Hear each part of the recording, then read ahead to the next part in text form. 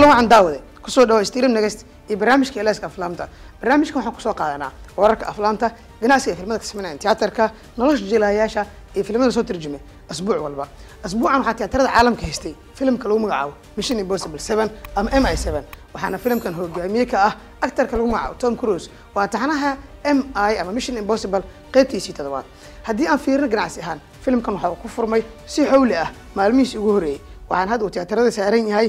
Muddo hal isbuuc ku siman. Arbacadii hore ayaa tiyaatarada markaasi la saaray waxa uu ganacsigiisa hadda daafaha caalamka uu marayaa laba boqol soddon iyo sagaal milyan oo dollarka maraykanka ah.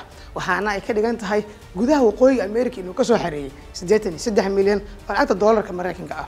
Waana in ka hooseysa intii la qiyaasay waxaa lislahaa filimkan. Boqol milyan uu ku furan doonaa maadaama sheekadiisa aada loo ammaanay. Sidoo kalena aada loo jecelyahay franjiska ama taxanaha mission impossible si kastaba haatee gudaha india filimkan ganacsi wanaagsan ayuu ka sameynayaa waxaana hadda ka noqday goor horeba filim markaasi hid ah oo guuleystay haddii aan fiirino dhanka bollywoodka waxaa markaasi tiyaatarada saaran weli filimka lagu magacaabo sadia bremki kata kaas oo hadda noqday filim markaasi samhid ah oo average oo ka dalacay. Waxaana filimka markaasi lagu qargeliyay todobaatan shanta karoor oo hadda markaasi kor u dhaafay toddobaatan karoor oo lacagta markaasi india rubiska ah. Sidoo kale haddii aan fiirino shaleemooyinka teleguga waxaa saaran filim markaasi lagu magacaabo baby filimkan waxa uu ahaa filim markaasi iska yar sheek ahaan ama filim ahaan budgetkiisa marka la fiiriyo laakiin sheekadiisa aada loo ammaanay waana la jeclaystay. Taas waxaa marka ay in filimka uu noqdo blackbuster taariikhi ah sidoo kalena laga faa'iiday lacag badan maadaama distributorska ama kooxaha markaasi cajaladaha qaybi ay ku iibsadeen sideed karoor oo keliya sidoo kalena laga helay shan iyo toban karoor oo lacagta nadiifka ah.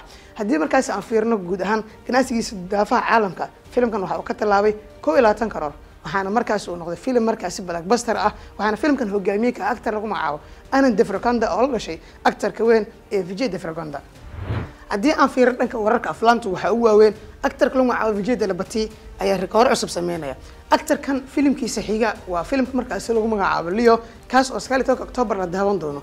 Balse filimkiisa kusi xiga kaas aan weli magac loo bixin loogu magac daray hadda vijay filimkiisa lixdan iyo sideed ayaa waxa uu sameynaya rikooro dhanka iibsiga cajaladaha muusiga ah vijay filimkiisa lixdan iyo sideedaad waxaa hadda markaas xuquuqdiisa muusiga gatay shirkada weyn ee t serias waxaana ay markaasi ka bixisay soddon karoor waana lacag markaasi laba toban karoor ka badan lacagta lagu gatay muusiga filimka leo ee sagaal iyo tobanka octoobar la daawan doono vijay talabati waxaa la werinaya muddooyinkan in uu isaga fariisan doono dhanka jilista filimada muddo kooban maadaama uu dhanka siyaasadda xoogga saari doono. Sidoo kale xisbigiisa ayuu dhawaan ku dhawaaqay waxaana uu diyaar u yahay inuu ku tartamo kuraasta gobollada tamiil si uu markaas u noqdo xildhibaan sare oo dowladda indiya ka tirsan.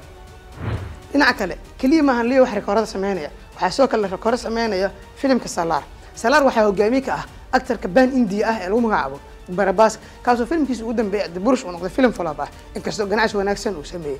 Waxaa barabas filimkiisa salaar lagu soo waramayaa in waqooyiga america la saari doono ama laga daawan doono kun sagaal boqol iyo toddobaatan iyo sagaal meelood oo kala duwan. Sidoo kale daafaha caalamka la isku daro filimkan waxaa laga daawan doonaa shan kun oo meel oo kala duwan taasoo ka dhigan inuu noqday filimka hindiya ah ama hindiya ay iska leeyihiin ee goobaha ugu badan laga daawaday. Daafaha caalamka maadaama shan kun oo meelood laga daawan doono guud ahaan caalamka oo dhan dhinaca kale waxaa asbuucan tradingka ista ama adleynta gabadha lagu magacaabo kajal defgan. Kajal waa xaaska u dhexa actarka weyn ee lagu magacaabo ajay defgan. Waana sidoo kale atirishacaan ah oo tan iyo ilaa sagaashamaadkii tiyaatarada bollywoodka aada u gelgeli jirtay. Waxaa hadalheynta markaasi ee dhalatay markii ugu horreysa kajal ayaa la arkay iyadoo filim ama shaashada horteeda ku muujinaysa shumis dhanka bishiimaha ah. Markii ugu horreysa ay dhacday in kajal shumis ay ku soo muujiso shaashada ama iyadoo filim sameynaysa. Waxaana hadda asbuucii hore la daawaday ama soo baxay. Taxaanaha markaasi hogaaminaysa lagu magacaabo. Trial kaasoo ay ku matalayso gabar abukaato ah. Sidoo kalena ah xaas guri dhaqanaysa. Saygeeda ayayna difaacaysaa maadaama kiis dhanka markaasi kufsiga ama fadeexad markaasi uu wajahaya saygeeda saygeeda ayay la wadaagtay shumis oo soo jiitay indhaha daawadayaasha maadaama ay ahayd wax ku cusub oo ugub ah. Marka loo fiiriyay kaajar dhinaca kale xaggee laga gelaya gabadha lagu magacaabo ranood kagana ranood waxay hadda weerar ay ku qaaday actarka weyn ee lagu magacaabo rambiir kabuur waxay tiri wuxuu aaliyabaad u guursaday in uu saameyn ku yeesho dhanka aflaanta sidoo kalena ay filimadu kala kacsado maadaama filimkiisii ay isla sameeyeen xaaskiisii ee lagu magacaabo baramastera uu guul weyn gaaray. Waxay tiri waxa uu hadda xaaskiisa kaga tagay gudaha indiya waxaana uu safar dalxiisa london uu u waday hooyadiis. Waxay ka dhigan tahay taas in iyada markaasi uu hadda dan ka leheen jaceylkoodana uu yahay mid feeg ah oo dadka ay ku sirayaan. Waxay tiri wuxuu hadda iga tugayaa oo iga baryayaa inaan la kulmo. Fariimo ayuuna iisoo qorayaa. Aaway jaceylkii uu xeeskiis u qaba ayay leedahay. Ka ganaraanood labada lamaan waxay ka mid yihiin lamaanayaasha ugu caansan dhanka bollywoodka. Waxaa sidoo kale ay yihiin lamaanayaal ka soo farcamay waalidiin awood markaasi ku lahaa dhanka bollywoodka. Si kastaba ahaatee kangana ranood wahma qariso fashil ayayna dhex istaajisay rambiir kabuur kaasoo filimkiisa ugu dambeeyay tujotime makar uu tiyaatarada ka noqday film average ah. Dhinaca kale warweyna ka soo baxay xafiiska sajid nadiyadwala kaas oo ah producerka ku caanbaxay taxanaha ama franjiska lagu magacaabo houseful.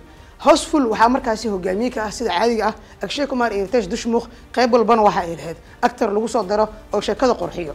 Waxaa hore loo daawaday houseful one two three iyo four. Hadda waxaa la daawan doonaa houseful five waxaana duubistiisa la bilaabi doonaa bisha december sida uu sheegay sajid nadiyadwala waxaa taxanahan caan ku ah akshay kumar iyo teshtan soo sheegnay balse waxaa ka soo muuqda actaro kala duwan sida arjun rambal john abraham actorka lagu magacaabo sheekh bajan iyo sidoo kale bobidor warar kale ee filimada waxay sheegayaan in directorka weyn ee lagu magacaabo karan johar uu aada uga carooday atirishada lagu magacaabo katrina kef katrina kef waxaa markaasi filimkeeda lagu magacaabo merry christmas ay la sameynayso vijaycity butu laga daawan doona tiyaatarada shan iyo tobanka december.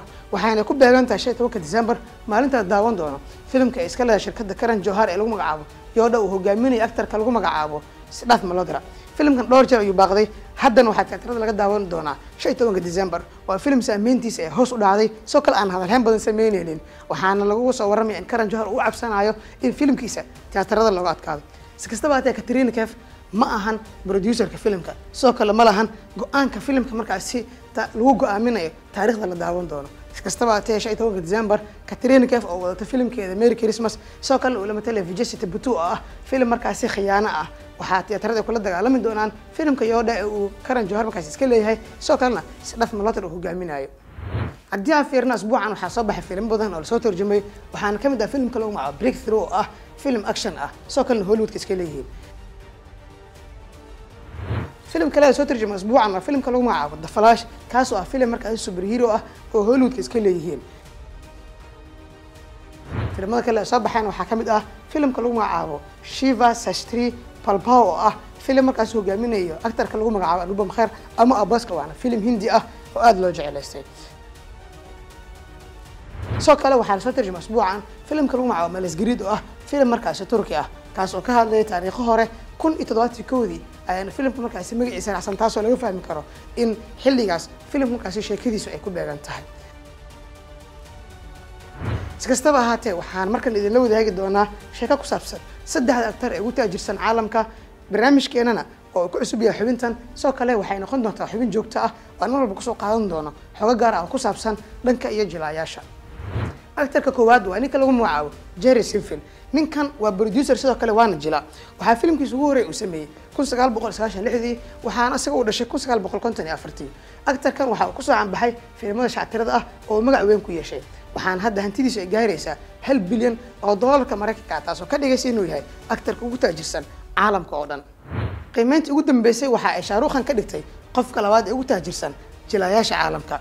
Waxaa ninka lagu magacaabo king of bollywood ama kingi khan waxa uu tiyaatarada markaasi soo galay ama filimada uu soo galay kun sagaal boqol sagaashan iyo labadii. Waxaana u kun sagaal boqol lixdan iyo shantii. Actarkan waxa uu ka mid yahay actarada ugu guulaha badan dhanka iyo bollywoodka isagoo afar toban jeer ku guulaystay film fair. Sidoo kale waxa uu hadda hantidiisa ay gaaraysaa ama uu haystaa toddoba boqol iyo toddobaatan milyan oo doolarka maraykanka ah taasoo ka dhigaysa inuu yahay atooraha labaad ama jilaaga labaad ee ugu taajirsan caalamka oo dhan. Tom cruise ayaa ah jilaaga saddexaad ee ugu taajirsan jilaayaasha caalamka xidigan waxa uu dhashay kun sagaal boqol lixdan iyo labadii.